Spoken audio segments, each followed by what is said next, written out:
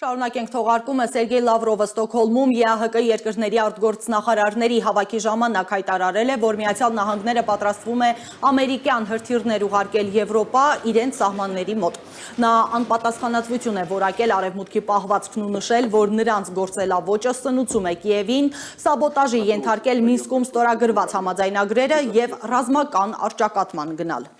военную инфраструктуру Альянса. ՆԱՏՕ-ի զորքերը իրենց ռազմական տեխնիկան անպատասխանատու ձևով մոտեցնում են Ռուսաստանի սահմաններին, Լեհաստանի եւ Ռումինիայի սահմաններին պատրաստվում են մոտեցնել օթային հարվածային համակարգեր եւ ահա այսպես միջին հերահարության ամերիկյան հրթիռները շուտով կհայտնվեն Եվրոպայում, իսկ Եվրոպան լուր է։ Վերադառնում է ռազմական արճակատման մղձավանջային սցենարը։ Европа молчит.